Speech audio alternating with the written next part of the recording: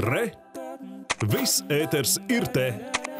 Atālinātā darba un izolētās sociālās dzīves laikmetā e-paraksts izrādījies viens no digitālajiem rīkiem, bez kura savu ikdienu vairs nevar iedomāties daudz Latvijas iedzīvotāji. Pirmajā pusgadā strauji audzis gan e-paraksta lietotāju, gan arī tā izmantošanas rēžu skaits. Kuru sabiedrības grupu pārstāvji visvairāk izmanto e-parakstu? Kādus uzdevumus tas ir padarījis iespējamus ikdienā un cik plaši Latvijā mēs izmantojam digitālās identitātes sniegtās iespējas?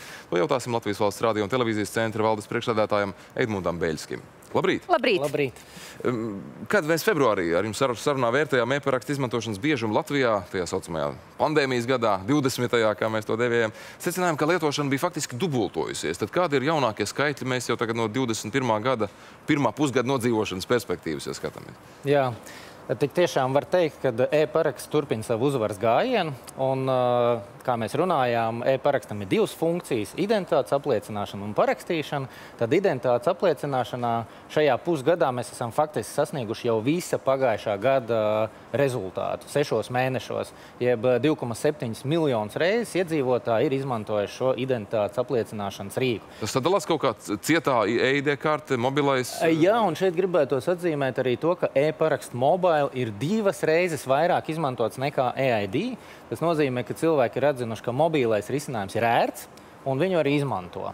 Un, uh, faktiski arī jā, būtu jāatzīmē, ka uh, identitātes apliecināšanas rīks ir vienīgais Latvijā, kuru ir uh, atzinusi Digitālās drošības uzraudzības komisija, un uh, arī viņš ir notificēts Eiropas Savienībā.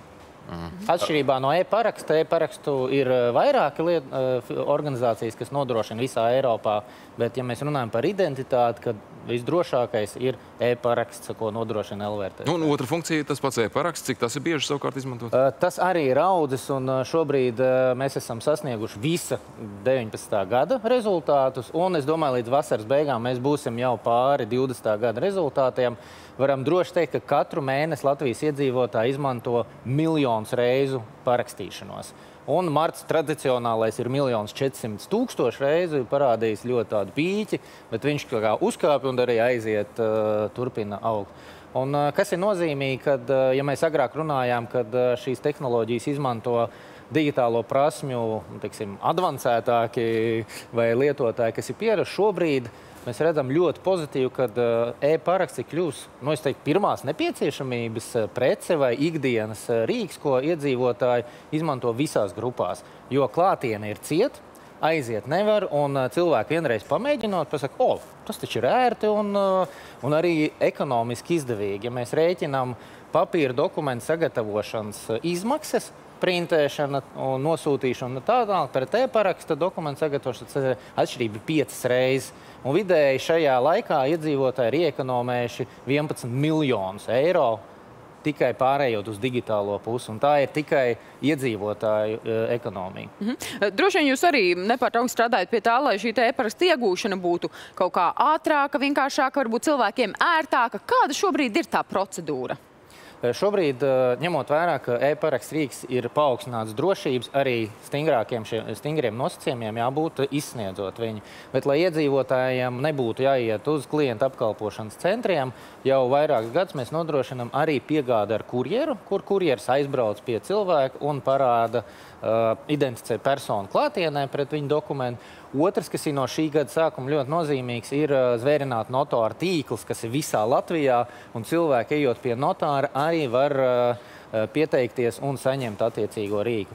Un tie iedzīvotāji, piemēram, kam ir EID karte, viņi var attālināt, pat nekur neejot, arī sev uh, saņemt uh, e-parakstu mobile. Jo svarīgi ir, lai cilvēkiem uz rokām būtu divi rīki, kas ir identiski droši un identiski juridiski saistoši - e-paraksta ID kartē un e-paraksts mobile. Un tad jūs esat faktiski universāls cilvēks no jebkuras vietas pasaulē, jūs varat kārtot savas lietas. Nu, vienīgais tas, ka tai kartē līdzās ir nepieciešama um, aparatūra, es saprotu, lai varētu pieslēgt pie kāda uh, datora. Lasītājs ir Lasītājs. līdzvērtīgs jūsu datora pelei, jūsu datora uh, tastatūrai, uh, tāpēc ir mobīlais risinājums, kur nevajag vairs neko.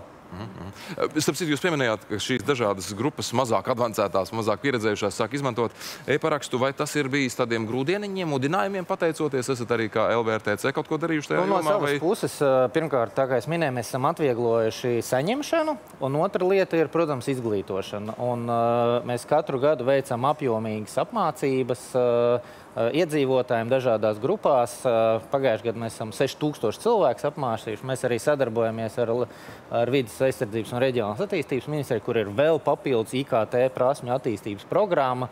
Ar klientiem strādājam, sniedzam uh, gan papīra formā, bukletus, lai cilvēks var pirms tam iziet pa solītim, gan arī digitālajā formā ir ļoti apjomīga informācija. Tad, principā, e-parakstam, man liekas, veiksmīgāk sanāk, ka par visām komunikācijas kampaņām Covid-19 ir palīdzējuši šo popularitāti vairot, jo šķiet arī studenti, vai ne, šobrīd ļoti daudz um, piesakās šim e-parakstam, jo um, iestājoties augstskolā, tad nav jāiet klātienē, vai ne? Jā, mēs redzam ā, ļoti pozitīvi jau no pagājušā gada tendenci, ka augstākās mācības iestādes ir pieņēmušas strateģiskus lēmumus pirmkārt izmantot e-parakstu gan pieteikšanās procesam, gan arī dokumentu iesniegšanai, darbu iesniegšanai digitālā formā, tādējādi atvieglojot gan ceļu līdz konkrētai augstākajai mācību iestādē. Un kas ir vēl svarīgāk, tas, ka mācību process ir šobrīd iespējams no jebkuras vietas.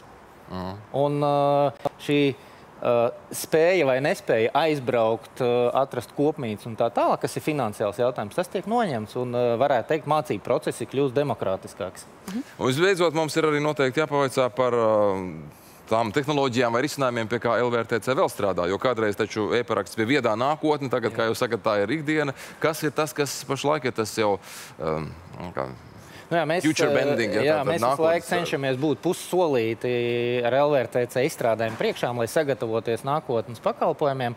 Nu, šonadēļ, var teikt, ir ļoti nozīmīgs uh, brīdis, kad LVRTC slēdz uh, sadarbības līgumu ar Latvijas Universitātes Matemātikas un Informātikas institūtu attiecīgi par kvantu tehnoloģiju testa prototipiem.